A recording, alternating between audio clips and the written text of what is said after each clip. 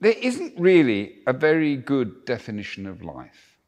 And the way I approached it in this book was to take five of the great ideas of biology, ideas that um, most scientists would be very happy with agreeing to, that some of them have in fact been around for a number of centuries, and exploring those five ideas, which are the idea of the cell, the idea of the gene, the idea of evolution by natural selection, the idea of understanding life in terms of chemistry, and the fifth idea, understanding life in terms of information. All of those ideas are well accepted. Maybe the last one, life as information, is, uh, is not perhaps as fully accepted as the others.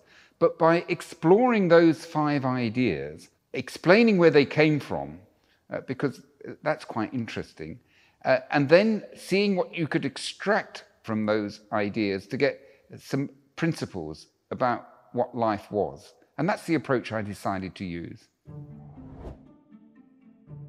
Chapter 2 The Cell Where Life Begins. The cell is really critical for the way I think about life. And, and why is that?